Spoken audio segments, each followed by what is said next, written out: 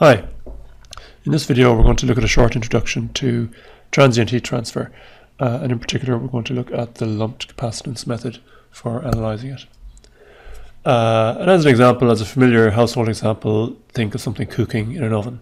Uh, you put a potato into an oven, the potato is at 20 degrees C initially, uh, the air in the oven is at 200 degrees C and the air temperature in the oven is controlled so for the sake of argument we'll say it stays at a constant 200 degrees C and the potato is going to get hotter as time goes by. So have a think about uh, how the temperature of the potato increases. And if we're to plot uh, temperature of the potato as a function of time, we know that it starts at 20 degrees C, so there's a point there on our curve.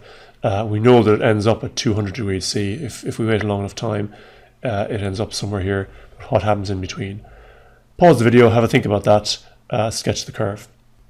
Here are some possibilities. Maybe it overshoots the final temperature. Uh, maybe it kind of overshoots and oscillates like a lightly damped system. Maybe it's asymptotic, like in C. Uh, or maybe it rises linearly and then stops when it gets to 200 degrees C, like in D. Well, let's have a think about these. Let's consider case A. Uh, if it gets hotter than 200 degrees C. If it gets hotter than 200 degrees C, then our potato is hotter than the air. So what will happen then is uh, if the potato gets to say 201 degrees, uh, we're going to have heat transfer from the potato to the air because the air is cooler. So if the potato gets above 200 degrees C, there is no way that it can keep rising. That is just not uh, that's not possible. Okay, so we can uh, exclude that. Case B, for the same reason, we can exclude if it gets above 200 degrees C, there is absolutely no way it can, it can continue to get hotter. So that's impossible.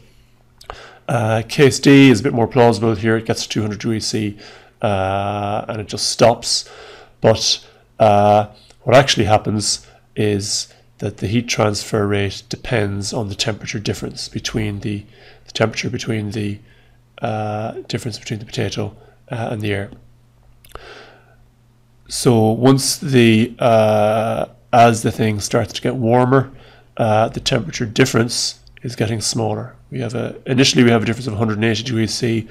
Here we have a difference of maybe 150. Here we have a difference of about 80 or 100. The temperature difference is getting smaller, so the rate of heat transfer should be getting smaller. So the rate of increase of temperature should be getting smaller. So what actually happens is this: we start with a big temperature difference. We get the maximum rate of heat transfer, the maximum rate of temperature rise. We get a really steep slope there on the curve. By the time we get to here, the temperature difference is now smaller, so the slope of the curve here is smaller, the temperature is rising less rapidly. And the closer you get to 200 degrees C, the smaller the temperature difference is, and the smaller the heat transfer rate is. Uh, and if we ever did get to 200 degrees C, the heat transfer rate would be zero. So it's a classic asymptotic sort of a thing. The closer it gets to 200 degrees, the smaller the temperature difference, the delta T, and the smaller the heat transfer rate, and the smaller the approach. So case C here uh, is the is is something like what really happens. Another question for you: What kind of a function is that? If you had to guess what kind of a mathematical function that curve C is, what would you say? It's an exponential, and what we're going to do now is prove that it's an exponential, subject to a few approximations uh, and restrictions. We're going to prove that that curve is an exponential. And of course, this isn't just about cooking. This is lots of applications. Um, any industrial process that involves heating, like heat treatments for materials or welding, um, heat transfer and cooling and reciprocating engines, cooling of spacecraft, heating and cooling of buildings over the daily cycle. They all follow this kind of behavior. Okay, so generally speaking, temperature is a function of uh, x, y, z, and t. Temperature varies throughout space and time. Uh, Often we will think about steady state heat transfer and steady state temperature fields where the temperature does not depend on time. Today, though, that's not what we're talking about. We're talking about the full transient case where temperature varies with time. And we're going to uh, restrict that a little bit. We're going to, as I said, we're going to use this lumped capacitance method where we're restricting it further. We're saying the temperature is a function of time only. So for the example of a potato, what we're saying now is the temperature of the potato uh, at the center of the potato is exactly the same as the temperature on the skin of the potato is exactly the same as the temperature throughout the potato is exactly the same as the average temperature uh, of the potato.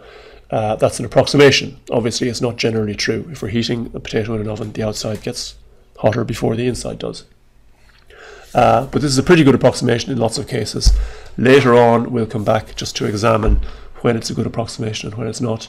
But uh, for now, we're just going to develop the, the theory for that.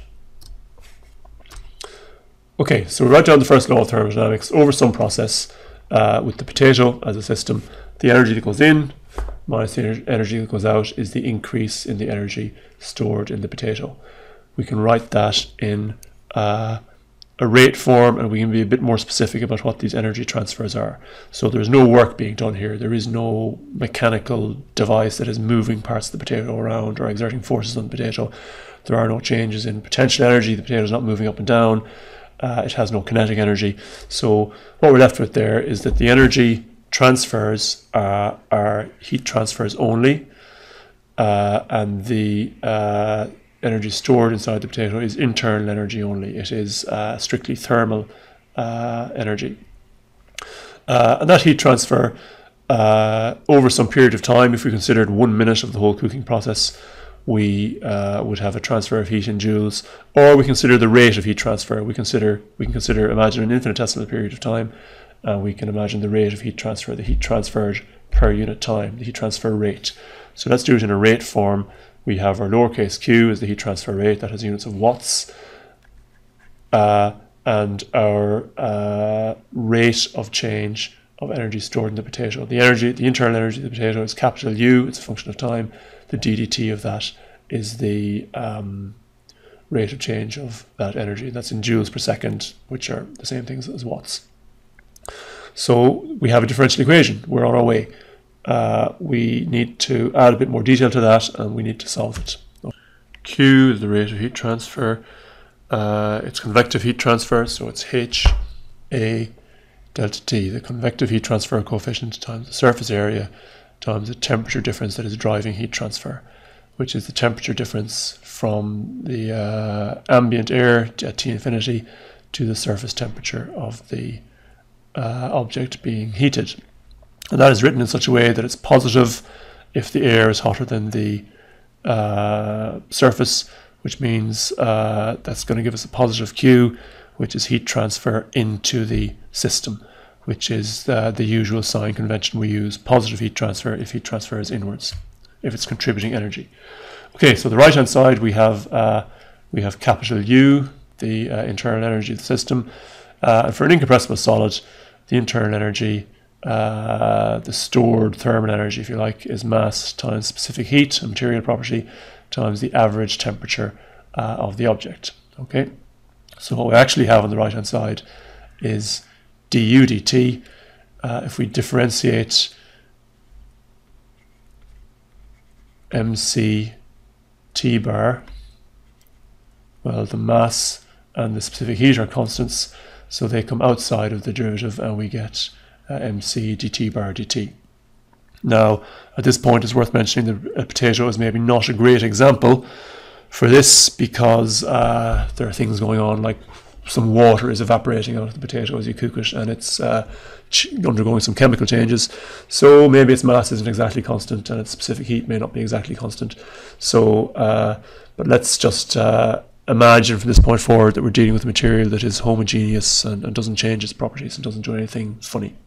So we're, we're, we're getting closer to an equation that we can actually solve. Uh, if you remember, um, we had uh, Q equals um, du dt. Uh, we've now expanded the Q a little bit, we've expanded du dt, we've written them both in terms of temperature actually, and we can uh, substitute those expressions into our equation, and this is what we get. And now we use our lumped capacitance approximation, since we're saying that the temperature of the potato at an instant in time is the same everywhere throughout the potato, then Ts, the surface temperature, is the same as the average temperature of the potato, is the same as the temperature at any point in the potato. We're not saying the temperature of the potato is constant in time, we're saying that at an instant in time it is the same everywhere in space. So we do that, uh, and to implement that, we just drop the subscript s and we drop the over bar, we're just going to call the temperature, that uniform temperature of the potato, we're just going to call it big T without any uh, any other notation now. And I'm going to uh, sometimes when I remember, I'm going to put brackets small t after it to remind us that that is a function of time and a function of time only. Uh, and that final equation there in the red box, uh, that is an ordinary differential equation with temperature as the dependent variable. So that's something that we can solve. It has one dependent variable, the temperature, big T. It has one independent variable, the time, small t. Uh, that's something that we should be able to solve. So we have to solve this differential equation. Uh, and there's a trick, like with a lot of these things, it's a lot easier if you know the trick before you start to do it. The trick is that we define a new variable, uh, theta. Theta is a function of time, theta of t. It's equal to uh, temperature of the potato, the time varying temperature of the potato, that should be really in brackets t as well, minus t infinity. And theta uh, shows up in our equation. Theta, this thing in brackets here is exactly minus theta dt dt here, the derivative of temperature, uh, that is actually equal to d theta dt because when you differentiate theta, uh, you are differentiating t minus t infinity and the derivative of t infinity is zero because it's constant. So our equation, we can recast it in terms of theta instead of t and remember that theta is our time dependent variable and what theta is is the temperature difference between the uh, ambient air and the object that is changing its temperature. Now, we rearrange this equation a bit. This is now uh, certainly an equation that you've seen before in pure maths and, and applied maths and in various uh, applications. Uh, we separate the variables out a bit. In other words, we collect all the theta on the right hand side, we collect all the time on the, on the left hand side. Uh, we integrate uh, we get the integral of uh, d theta over theta, so it's log theta, and we're evaluating that from 0 up to a general time uh, t. The integral uh, on the left is just the integral of dt, so it's just uh, t. So to do this, we need an initial condition, uh, and when I say an initial condition, we're really just labeling something. So we're going to, at time 0, we're going to say temperature is ti, so we're labeling the initial temperature as Ti, and therefore our theta at time zero is Ti minus T infinity. So we, we, uh, we can use that to firm up the equation a bit. So we evaluate our integrals then uh, between their limits. Uh, we evaluate uh, time at t is t, time at time zero is zero, that's trivial. Uh, theta at time t is the general t brackets t minus t infinity. Theta at time 0 is uh, t minus t infinity at time 0 is ti minus t infinity. So we've just given the initial temperature uh, a label of big Ti. So we have the log of this minus the log of that. And the way that logs work, of course, that is the log of one thing divided by the other thing. So we get uh, minus HA over MC by the time is equal to the log of this ratio here. Uh, usually it's flipped around and written in a slightly different way. Usually we take the exponential of both sides. So the exponential of the log is the is, is the thing in brackets there. Uh, this thing on the left hand side. Uh, and we get the exponential uh, of all this e to the power of all of that there. And that is a solution. So we've gone from our differential equation to a, uh, a new equation now that gives us uh, temperature as a function of time on the left hand side. With some other stuff, there are a few constants floating about on the left hand side there as well. On the right hand side, we have a pure function of time. And as you might have guessed, it is uh, an exponential.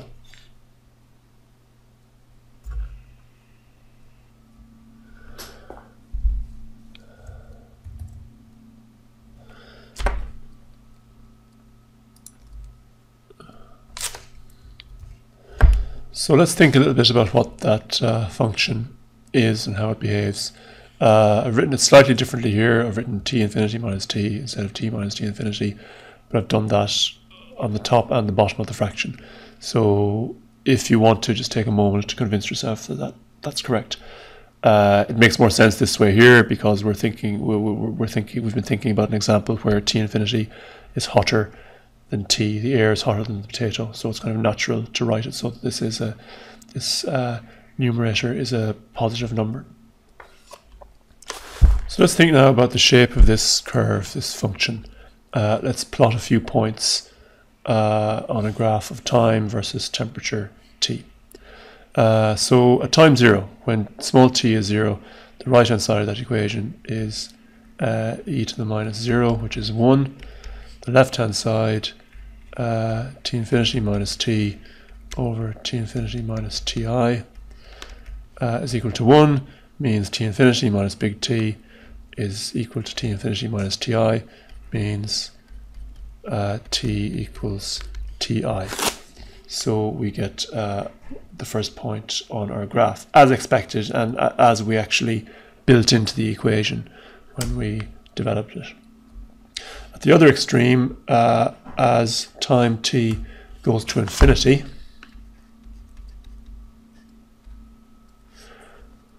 we are tending towards e to the minus infinity, uh, e to the infinity would be infinite, so e to the minus infinity is the inverse of that.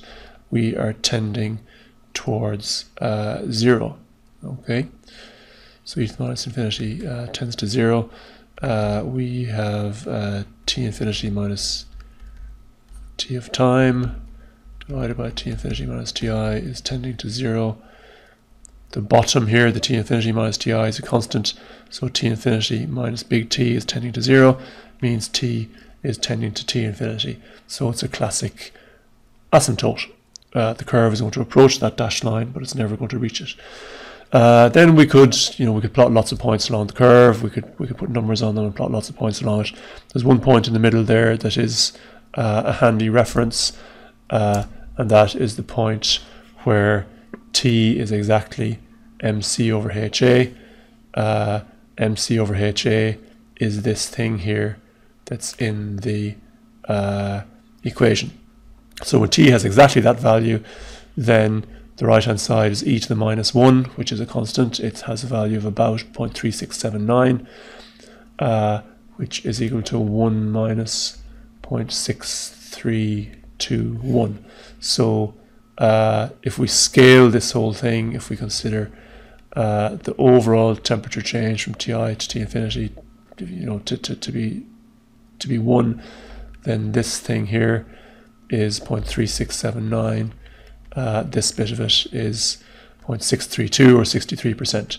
So at that point, uh, we're saying that the temperature has changed by 63% of its eventual final change that it's that, that it will make as t goes to infinity. So that's uh, a kind of a reference. Uh, and it's useful because it gives us a reference uh, time scale. Okay, so again, that's the 63% uh, change here. This uh, is used as a handy reference to characterize how fast or slow the whole process is, and it's called the time constant, the thermal time constant, uh, the Greek letter tau. Um, and that notion might be familiar to you if you've ever studied uh, electrical circuits with capacitance in them. This electrical time constant uh, comes up and it has the same idea of a 63%. And mathematically, it's exactly the same because the governing equations are exactly the same. Uh, instead of uh, energy, you have charge. Instead of heat transfer rates, you have current, but the equations are the same. So this thermal time constant is very like the electrical time constant.